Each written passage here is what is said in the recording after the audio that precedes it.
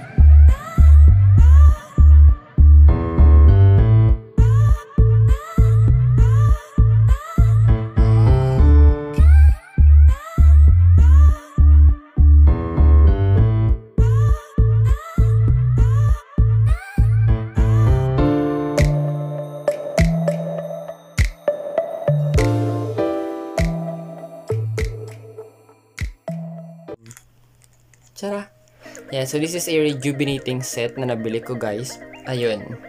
Kung nakita nyo wala pa akong ayos kasi hindi pa ako naliligo. Ngayon pa ako maliligo para itry natin to. Actually ngayon is 10 o'clock na mahigit. Tama ba? Yes, basta nasa 10 o'clock na.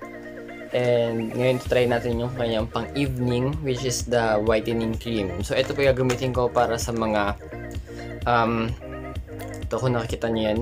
And I will show you guys some result after 7 days after I use this or after using this product. Sorry, may lang. Ewan ko kung bakit, di ba? Naamoy na ata ako. Ayan, so, yan, maliligo muna tayo and see ya later.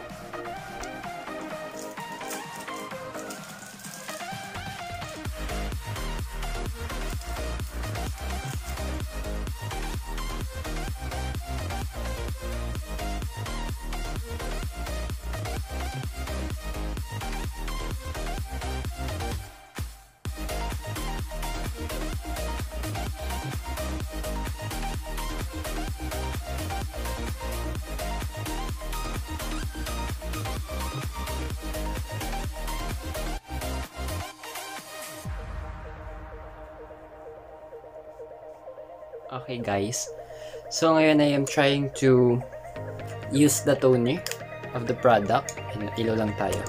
So ito ng konti. Yan, I'm trying to use the toner of the product guys. And ang smell niya guys or scent niya is very mild.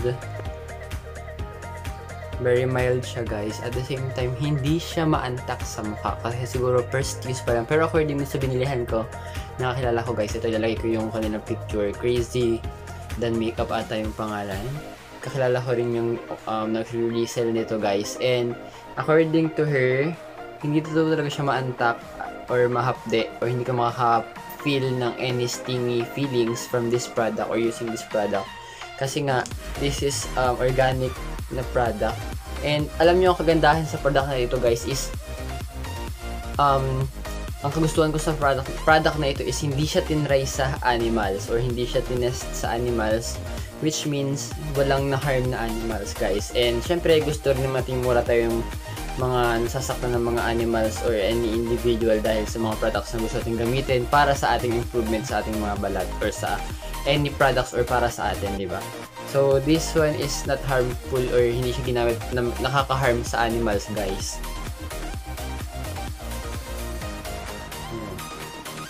Ilagan natin.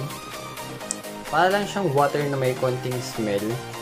Pero, according to this, this is clarifying toner, restore, refine, and whitens. Yan. All natural, no harmful chemicals. And vegan siya, guys. And this is proudly made in the Philippines. And anyways, guys, hindi ko alam kung nasabi ko na kanina, pero this product is made by Ever, um, Ever Bilena. Shoutout nga pala kay ate Ashley Tuason, ayan. New face of Ever Bilena.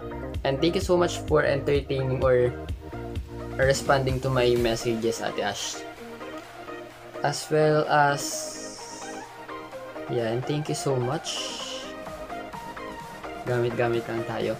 And guys, after pala nito, I will give you some review mga by 7 after 7 days of using. So, ito yung pinaka parang itsura ko ngayon. And tingnan natin kung puputi ba ako. Mawawala ba yung mga marks na yan or mag-lightens ba sila. We'll see in 7 days, guys.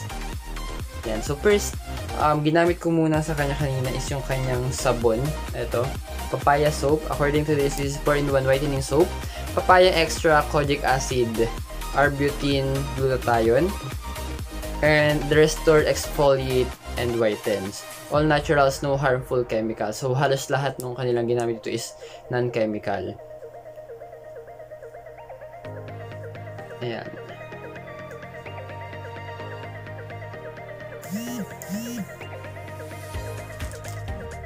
Dami natin ng paliliig.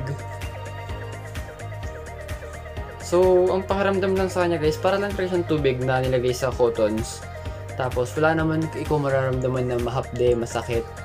Um, since first day ko pa naman, we will see in after 7 days. So, try ko rin mag-shoot one by one every single day ng parang kumbaga up update lang sa itsura ko after. Para at least meron tayong um, before and after, di ba? Yan. So, next,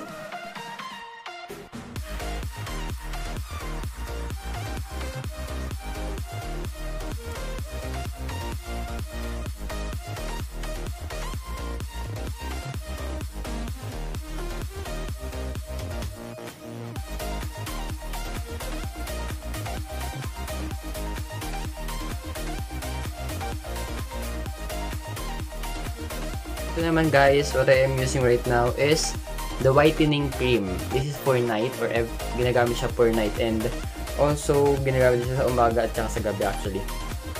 Hindi, sa gabi lang pala siya, sorry. This is the moisturizer. So, ginagamit siya after ilagay yung toner. So, according dito guys, um, restore, moisturize, and whitens. Yan. So, yun yung purpose niya. So, meron na tayong whitening cream.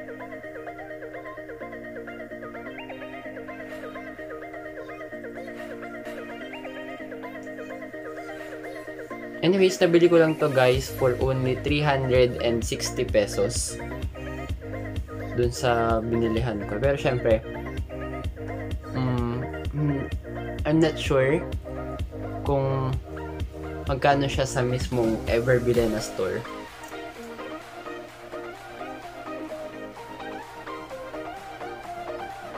Ang amoy nito guys, napaka ano lang, napaka mild.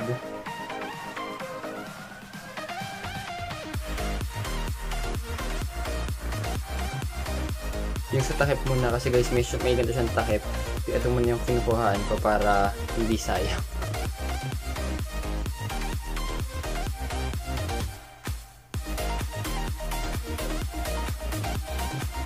And tomorrow guys, after naman, ito hindi ko ito gagamitin. Ang gagamitin ko naman bukas is yung sunscreen or yung sunblock.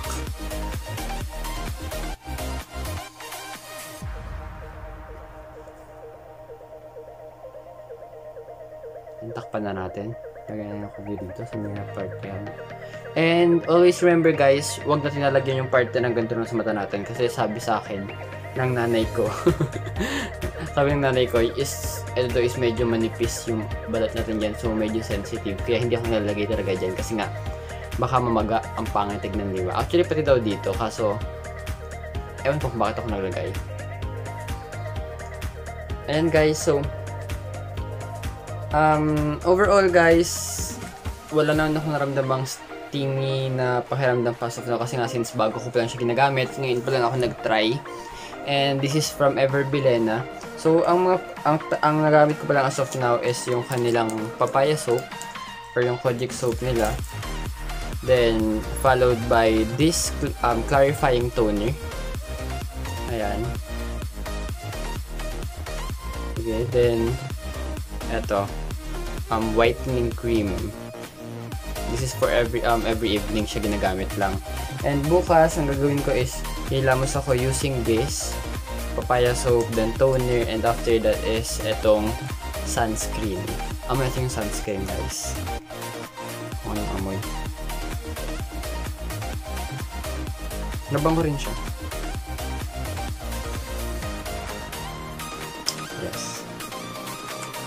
So ayun guys, um, hope you enjoyed this vlog and if you do, please don't forget to like, share, subscribe, and hit the notification bell so you are always once um, I upload a new video. And once again, um, please share this video guys and let's see if I will glow after 7 days or glow, magliliwanag, di ba? Kung magkakaroon ng glow sa aking balat or sa aking kulay, we'll find out. And once again, shout out to Ate Ashley Tuason for um, responding to my messages as well to Ate Joycey and a lot of my friends na vloggers din. Thank you so much for watching and hope you enjoyed this vlog and bye-bye. See you in my next vlog. Bye!